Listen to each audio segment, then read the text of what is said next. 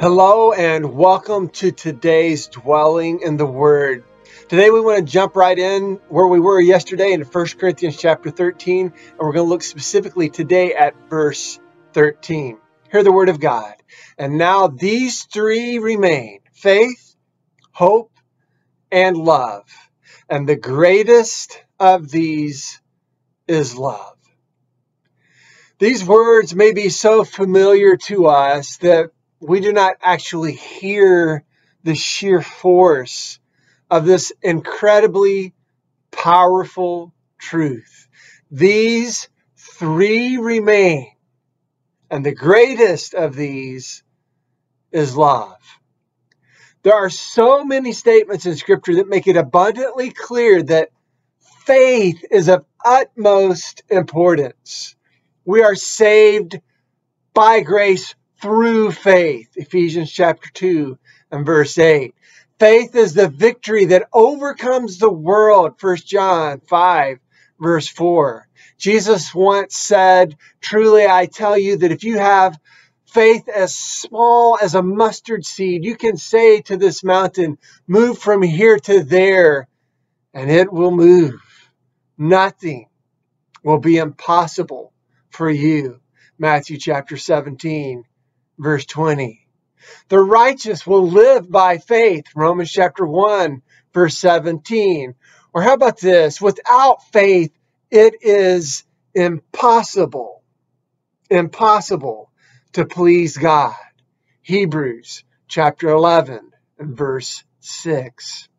But here the Apostle Paul informs us that as great as faith is, love is greater still. Love is greater than faith. And this truth does not in any way nullify or diminish the significance of faith. Faith matters. Faith is not displaced or set aside by love. Faith remains alongside of both hope and love. And by the way, who can imagine living life without hope?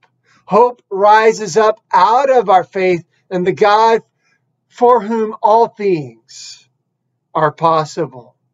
Hope is what sustains us and compels us to go on in the face of absolutely anything that might otherwise deter or defeat us. Hope, along with faith, is essential to our lives. We cannot live without either of them.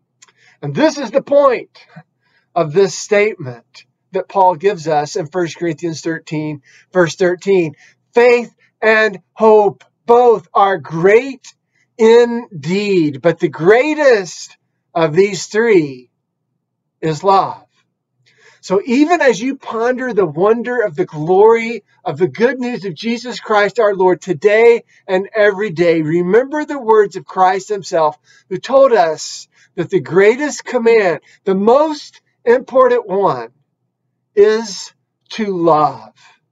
And the second most important command is to love even more. Love God with all that you are, all of your strength, mind, soul, and heart, and love others as you love yourself. And then Christ our Lord gave us a new command to love one another as He has loved us. Not as we love ourselves, but as He has loved us. So hear it one more time and let it sink in. And now these three remain faith, hope, and love. And the greatest of these is love.